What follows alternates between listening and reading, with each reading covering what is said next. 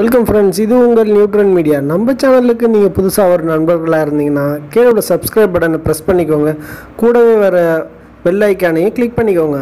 இது போன்ற அப்டேட் வீடியோக்களை அப்போ தான் நீங்கள் பார்க்க முடியும். வாங்க இப்போ நம்ம வீடியோக்குள்ளே போகலாம். வணக்கம் ஃப்ரெண்ட்ஸ் இன்றைக்கி நம்ம எதை பற்றி வீடியோ பார்க்க போகிறோம்னு பார்த்தீங்கன்னா கவர்மெண்ட் இப்போது சோஷியல் மீடியாக்கெல்லாம் பேன் பண்ண போகிறேன்னு சொல்லியிருக்காங்க. அது என்னென்ன மீடியாவாக இருக்குன்னு தானே உங்களுக்கு ஒரு பயத்தில் இருக்கீங்க? வாங்க இப்போ பார்க்கலாம். ட்விட்டர் ஃபேஸ்புக் உள்ளிட்ட சமூக வலைதளங்கள் செயல்பட மூன்று மாதங்களுக்கு முன் இந்திய அரசு புதிய சட்டத்திட்டங்களை அறிமுகம் செய்தது. அவற்றை அந்த தளங்கள் இன்னும் ஏற்காத நிலையில் அதற்கான கெடுமே இருபத்தி ஆறு அம் தேதி நாளை முடிகிறது. இதனால் தொடர்ந்து இந்த தளங்கள் இயங்க அனுமதிக்கப்படுமா என்கிற கேள்வி எழுந்துள்ளது. இடைநிலை வழிமுறைகள் மற்றும் டிஜிட்டல் ஊடக நெறிமுறை விதிகள் இரண்டாயிரத்து இருபத்தி ஒன்று இன் கீழ் இந்திய அரசிதழில் புதிய விதிமுறைகளை கடந்த பிப்ரவரி இருபத்தி ஐந்தாம் தேதியன்று இந்திய அரசாங்கம் குறிப்பிட்டிருந்தது.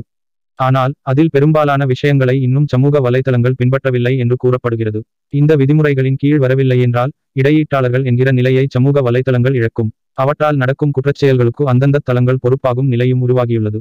கு என்கிற இந்திய சமூக ஊடக நிறுவனத்தை தவிர வேறு எந்த முன்னணி சமூக ஊடகமும் அவர்கள் நிறுவனத்தில் குறைகளை கேட்டறியும் அதிகாரியையும் தலைமை இணக்க அதிகாரியையும் நோட்டர் தொடர்பு நபரையும் இன்னும் நியமிக்கவில்லை.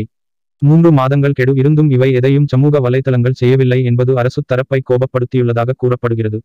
தனிநபர் கணக்குகளை தன்னிச்சையாக முடக்குதல் வசவுகள் மத ரீதியான அவதூறுகளுக்கு எதிராக நடவடிக்கை எடுக்காமல் இருத்தல் என இந்திய பயனர்கள் ட்விட்டர் ஃபேஸ்புக் உள்ளிட்ட நிறுவனங்கள் மீது தொடர் புகார்களை முன்வைத்து வருகின்றனர்.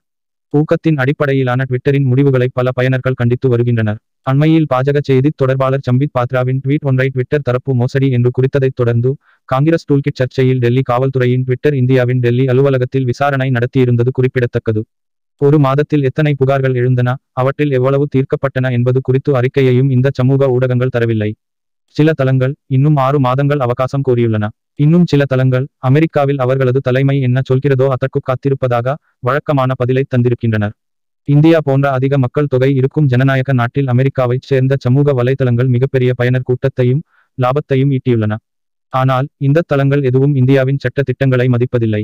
மேலும் உண்மை சரிபார்க்கும் அவர்களது வழிமுறை குறித்தும் எது தவறான ட்வீட் என்பதை எப்படி தீர்மானிக்கிறார்கள் என்கிற வழிமுறை குறித்தும் வெளிப்படையாக எதையும் சொல்ல மறுத்து வருகின்றன.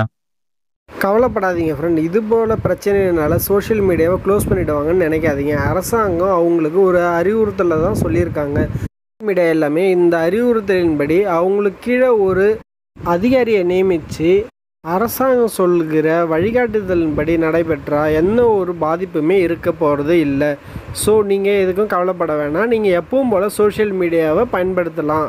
கவனமாக இருங்க ஃப்ரெண்ட் நீங்கள் பயன்படுத்தக்கூடிய சோஷியல் மீடியாவில் பகிரப்படக்கூடிய செய்திகள் எல்லாமே உண்மையானதான்னு பார்த்து ஷேர் பண்ணுங்கள் வீடியோ உங்களுக்கு பிடிச்சிருக்குங்க நம்புகிறேன் இந்த வீடியோ உங்களுக்கு பிடிச்சிருந்தனா லைக் பண்ணுங்கள் கமெண்ட் பண்ணுங்கள் உங்கள் ஃப்ரெண்ட்ஸுக்கு ஷேர் பண்ணுங்கள் தேங்க்யூ நண்பர்களே.